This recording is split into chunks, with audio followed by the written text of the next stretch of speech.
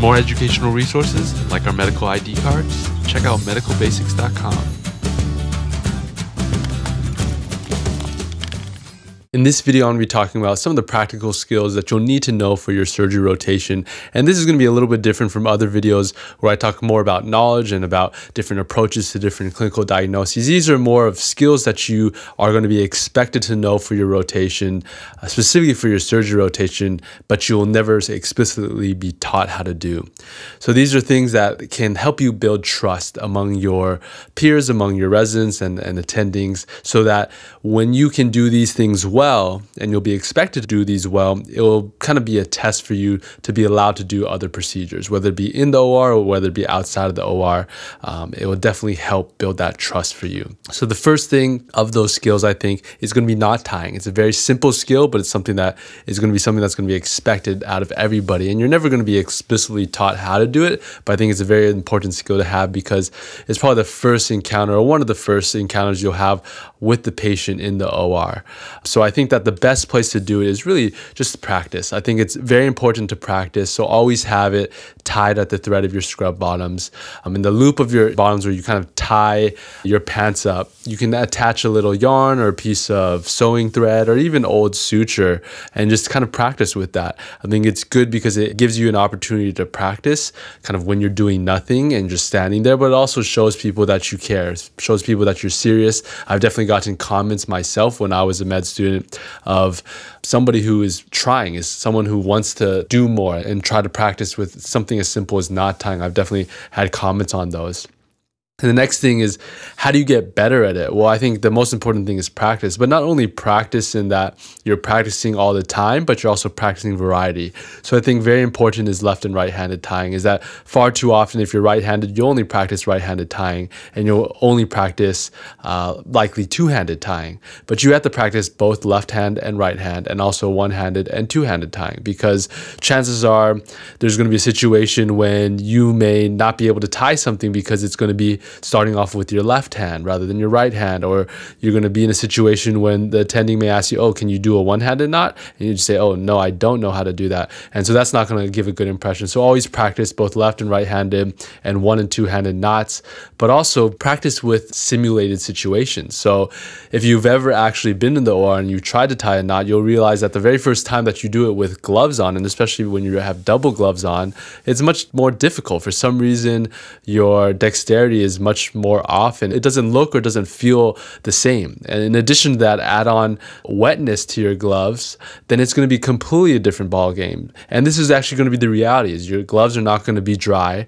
Um, you're also not going to be tying barehanded. So you want to practice in these scenarios. Obviously, you can't do that while you're walking around on your scrubs, but you can do that at home. So so practice at home with gloves, make them a little bit damp, and try to get better at it try to do most of your skills with gloves on and maybe even make it a little bit wet just so it's more difficult for you so that when the opportunity presents itself you'll be ready for that Next thing is going to be scrubbing in. I think that this is something, it's not necessarily a skill, but it's something that you need to know how to do before you go into the OR. I think if you're a first or second year, the best advice I would give, even if you're not trying to go into surgery, go in as early as possible. Try to go into the OR as early as possible, shadow, try to scrub in, try to learn as much as you can and be familiar with all these skills as early as you can so that when you're actually on your rotation, when people are grading you and you really can't use the excuse that this is my first time, then it'll be be it's much more comfortable. It's, it helps you be more comfortable, helps you be more confident when you're actually in the OR and when it's real.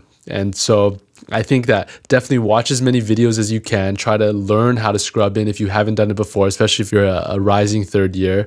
Uh, but don't be afraid to ask. And this goes with anything really. If it's your first time, it's much better to tell somebody that it's your first time and learn the correct way the very first time rather than to do something wrong and to have lied about it and said that you've never done it before and then you, you get called out it later on. So i think that's very important is that for sure try to watch as many videos as you can. Try to know it because even if you haven't done it before, if you've seen it enough times, you'll be comfortable enough to do these things on your own, even if you haven't physically done it. And I don't think you even need someone to show you. But if you don't feel comfortable, you haven't done it before, definitely ask someone. It's always better to ask than to just try to do something and do it incorrectly.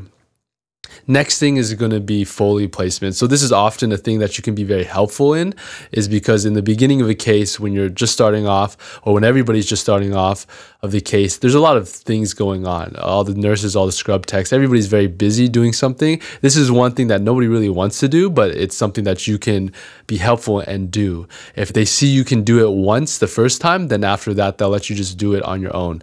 And it all depends on the institution, but that's kind of how I've generally felt that um, it's worked. And this is just a good way for you to get your hands onto something um, and to start doing something. And this is probably going to be, unfortunately, the first and potentially only actual procedure that you'll get to do oftentimes in the OR. But it's a good thing to just test your skills to, to gain that confidence and so you can build up for, for other tasks that you'll be um, allowed to do. So definitely watch videos. I would say, honestly, the best tip would be in your first or your second year when you're shadowing, ask somebody. Ask somebody who you feel comfortable comfortable asking, can you show me how to put in a Foley? I would love to learn how to do it. Or even when, as a third year early on, try to just be as engaged and as eager to do something as possible. I think the biggest thing, it's, there's nothing difficult about it. There's nothing technically difficult about it. It's pretty much about sterility. That's probably the hardest thing I would say is about how do you keep one hand sterile? How do you have the right technique in order to um, clean everything and how to not make everything uh, contaminated is, is probably the most important thing. But but always be eager. Even if you've put in a ton of these, it's a good way to just be helpful. So always be eager to, help out with this because it's not just about proving that you can do something, it's also trying to be helpful. I think you should be generally helpful during every rotation, and this is one of those ways that you can do that.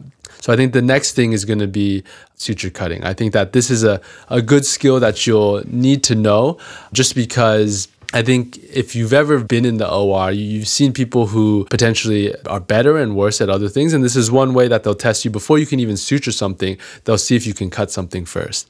And I think that this is important because it's very easy to just not do these things right, even though it may seem so simple. So the first thing is how do you hold your scissors? Well, one is you put your thumb and your fourth finger into the holes and you use your second finger to support the scissor. Oftentimes you'll see people putting the thumb in here and their index finger in the second hole, just like you would hold normal scissors. And, and that's not necessarily the, the best way to do it. Make sure you stabilize your hand. I think more importantly than how you cut the scissors or how you hold this is these points right here. And this goes with everything is that far too many times people just don't get permission. They just start doing things and they just start doing things, start cutting things. And that's when they get in trouble. That's when they start getting yelled at where they'll do something too fast. They'll do something without actually getting explicit instructions on what they want done.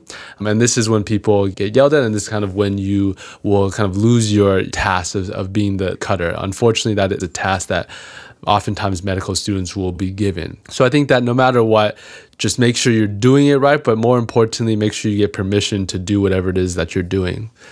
After that is when you're actually going to be suturing. And it's a very common task for med students. The one thing I'll say is that this is something that everybody will expect you to know, but nobody will ever teach you how to do it. And nobody is going to take really take the time to teach you how to do it. If you don't know how to do it in the OR, don't expect anybody to teach you or walk you through it. Unless you have a very nice surgeon, chances are they're really not going to take the time to do it because it's going to, it's the time when everybody's closing. You're going to be suturing things when things are closing up and everybody's going to be rushing you, whether it be the nurse, the scrub tech, or the attending. Everyone wants to get out of there. So this is going to be something that all of your classmates are going to somehow be experts in it. I don't know how, but they, all of my classmates were experts in it. And I was kind of left behind because I wasn't as good at it.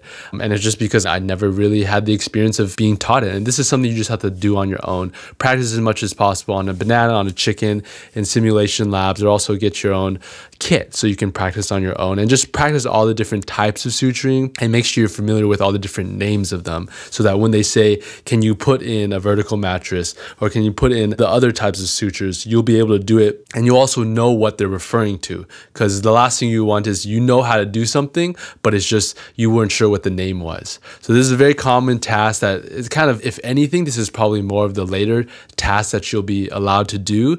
Uh, I would say the more quote unquote advanced tasks that you'll be allowed to do, not because it's difficult, but just because this is the time when really they don't want to do much teaching at this point. They're kind of done with the, the procedure. Number six is going to be what not to do. I think it's important to know, to be good at certain things and to know what to do in certain situations, but more importantly, you're going to be remembered if you do something wrong. Unfortunately, there's going to be very few times when if you do something very well or you do something right, nobody really will remember you for that, but they will definitely remember you if you do something incorrectly. So anything in blue, don't touch it if you're not um, scrubbed in. Always watch your back is important because far too many times you'll bump into the scrub tech stuff with your back and everybody will get mad at you. Um, know where to rest your hands, I think, is very important because if you watch any of the other attendings, if you watch any of the other residents, especially the older residents, they're not going to ever put their hands in the right way that you should be putting them. They're going to be putting them under their armpit, they're going to be just hanging them down. Always keep them above your waist, uh, essentially, just keep them on the table as best as possible. And I think this is important because, and it all depends on your relationship with your scrub tech and the relationship with kind of the team in general. Is in general, really don't touch the scrub tech stuff unless they ask you to. I think it's very common that the